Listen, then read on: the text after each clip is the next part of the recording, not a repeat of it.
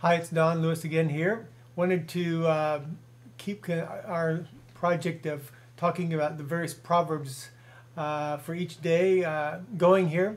And uh, today is, uh, we're going to talk about Proverbs 4. Got behind a couple days, so we'll catch up here. Anyway, what's interesting is they're continuing this theme of wisdom is supreme in Proverbs. And uh, this, this writer of Proverbs is encouraging his children, his sons and daughters, that wisdom is supreme, and whatever you do to get get understanding, get wisdom. Anyway, the whole thing is a whole chain of uh, events that uh, eventually gets down to uh, the very end, and he says, um, "Make level paths for your feet, and take only the ways that are firm." And he's kind of gone through some really interesting things even above there, uh, that was verse 20, uh, 26.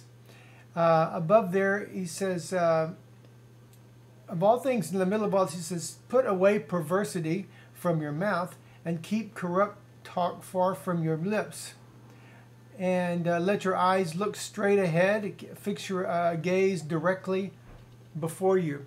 Well, everybody in and out of the church today knows how important your words are, and that whatever we do, comes back to roost, so to speak. So um, uh, he's talking about our words now, and uh, to basically put out the words that you want, create your future.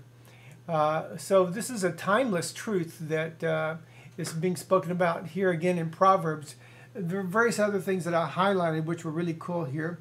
Um, he talks about uh, in verse 7 wisdom is supreme, therefore, get wisdom though it costs you all you have, get understanding.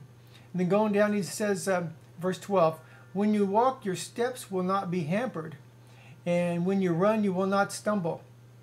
So hold on to instruction, do not let it go.